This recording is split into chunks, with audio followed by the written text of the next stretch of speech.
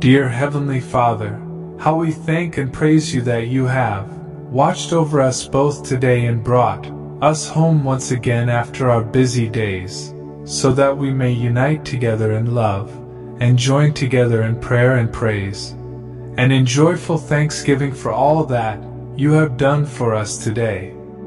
Thank you, Father, for all your goodness and grace to us, and for the wonderful way that you have guided us in our various jobs and duties today.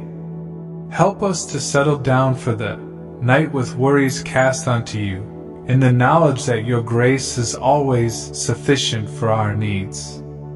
Thank you, Father, for this lovely opportunity to abide in your love as we rest in each other's arms. We pray that you would enable us both to lie down in peace, to rest in safety, and to sleep soundly and securely, knowing that you are our ever present help, our fortress, and the rock of our salvation.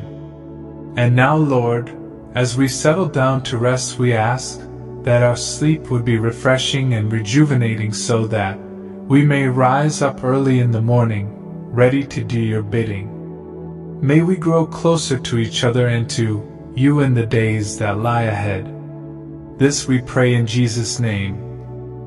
Amen.